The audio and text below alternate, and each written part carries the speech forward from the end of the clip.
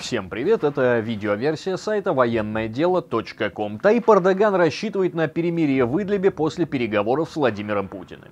Турецкий лидер Таип Эрдоган выразил надежду, что на предстоящих переговорах с российским коллегой сторонам удастся достичь перемирия в сирийском Идлибе. «Я надеюсь, что по результатам нашей беседы удастся достичь перемирия», цитирует слова турецкого президента телеканал NTV. Напомним, что встреча двух лидеров назначена на 5 марта. Президенты встретятся в Москве и обсудят ситуацию, которая сложилась в сирийской провинции Идлиб. Инициатором встречи выступает Анкара.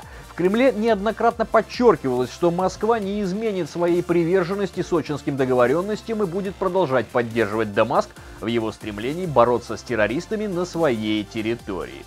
Ситуация в сирийской провинции резко обострилась после того, как под обстрел сирийских войск попали турецкие военные, которые оказались в боевых порядках наступавших террористов. Благодаря вмешательству российского командования в Сирии обстрел был остановлен, а турецкие военные эвакуированы с поля боя. На этом пока все. Еще больше новостей и информации на нашем сайте военное дело.ком.